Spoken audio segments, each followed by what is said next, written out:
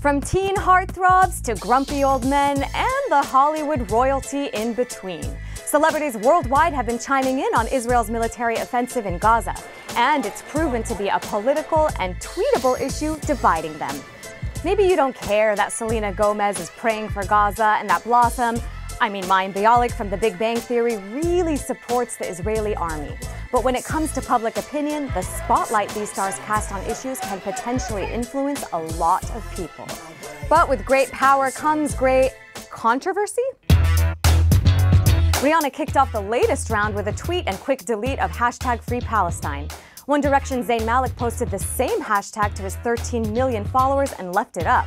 That earned him 300,000 retweets and a whole lot of death threats people are angry, like Joan Rivers, who, in her support for Israel, showed no sympathy when asked about Gaza's many dead civilians. I don't care. They started it. That's not what Spanish actors Javier Bardem and Penelope Cruz felt when they signed an open letter denouncing Israel's offensive as, quote, genocide. The letter also urged Israel to lift its blockade of Gaza and blasted Israel's occupation of Palestinian land. But of course, not everyone agreed with that letter. The backlash and accusations of anti Semitism that followed, including a letter from Jon Voight, aka Angelina Jolie's dad, were so fierce that both Bardem and Cruz issued statements to clarify their great respect for Israelis and their hope for peace. Others have set their sights on Hamas.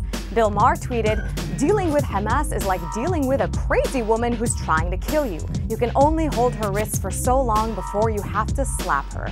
Really, Bill? Really? Howard Stern took a remarkably less sexist tone. So tired of the bullshit. If you're anti Israel, then you're anti America.